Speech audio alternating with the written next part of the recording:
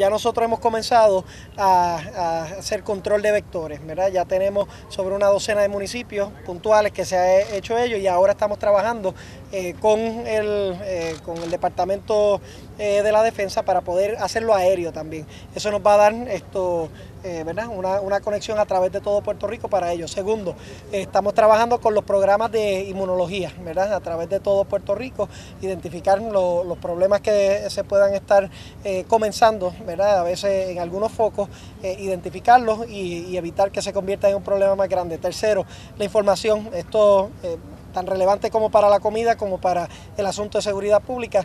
Eh, ¿verdad? Hay gente que, todavía están incomunicadas por lo general. Aquí mismo pues no tenemos señal esto de, teléfono, eh, pero hay comunidades que eh, tal vez por ejemplo no escucharon que la comida llegó. y entonces no saben si hay comida. Nuestro esfuerzo ahora va a ser, ya bien sea por tierra o hasta por aire, el Departamento de la Defensa tiene esas capacidades, tener bocinas eh, que puedan informar, eh, pues por ejemplo, dónde son los centros de distribución de los municipios, eh, cuáles son los pasos que deben de tomar para evitar problemas de, salud pública y dentro de lo de salud pública, que es lo muy puntual, ¿verdad? Ahora estamos trabajando con una red de comunicación entre todos los hospitales.